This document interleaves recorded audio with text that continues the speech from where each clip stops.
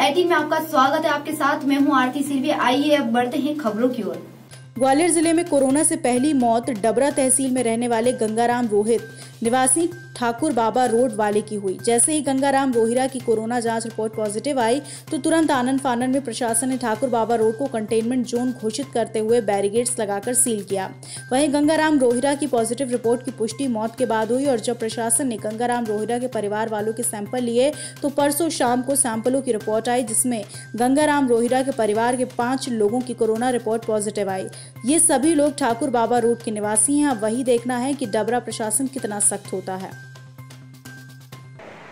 आज सवा पाँच सौ से ज़्यादा केस की रिपोर्ट आई है जिसमें से 12 केस पॉजिटिव निकले हैं जिनमें से पाँच केस डबरा के हैं जो कॉन्टैक्ट ट्रेसिंग के हैं और उसके अलावा सात केस ऐसे हैं जो बाहर से आए हुए हैं जिनमें ज़्यादातर लोग अहमदाबाद के हैं और एक बच्चे की भी रिपोर्ट पॉजिटिव है जो 11 साल का है। हम सभी की कॉन्टैक्ट ट्रेसिंग करा वाले हैं वो भी ध्यान दे रहे हैं। चौदह घंटा के यहाँ पे किसी भी प्रकार का कोई भी ठेला कोई भी व्यवसाय संवाददाता दीपक तिवारी की रिपोर्ट।